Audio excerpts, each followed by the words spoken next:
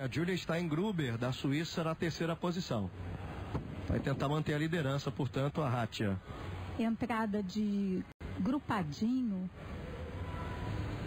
no meio da trave, uma entrada bem simples.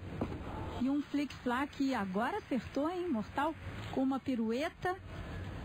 Uma sequência muito difícil ela conseguiu cravar. E aí uma sequência de três acrobacias ligadas. Salto de dança. Conseguiu chegar bem ali na lateral. Um salto cortada com meio giro. Estrela sem as mãos. Tá firme. Mortal lateral também, bem firme. São dois exercícios de dificuldade alta. Agora, que pode, né? Agora faz um salto que é mais simples e tem um desequilíbrio grande. Uma sequência de salto de dança com giro de dança.